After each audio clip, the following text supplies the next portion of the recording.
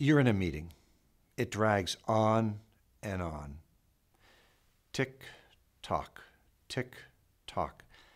You keep peeking at your watch or the clock on the wall. Will this meeting ever end? And then, when it does finally finish, what really came out of it? You can improve the productivity of your meetings immediately. First, make most of them 30 minutes in length. Alternatively, cut 30 minutes off the time you schedule. Second, ask some good questions before you even start. For example, who absolutely needs to be at this meeting? What are the objectives of this meeting?